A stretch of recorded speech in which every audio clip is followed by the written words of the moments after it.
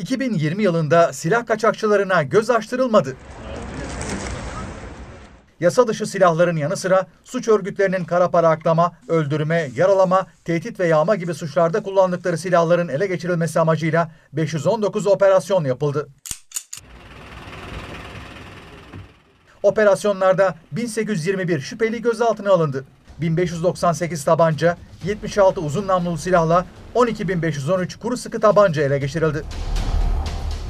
Silahların %81'i kişilerin üst aramalarıyla ev, araba ve iş yerlerinde, %11'i imalathane, %6'sı kargo, %1'i internet satışı sonucu ve %1'i de kaçakçıların sakladığı zulalarda bulundu.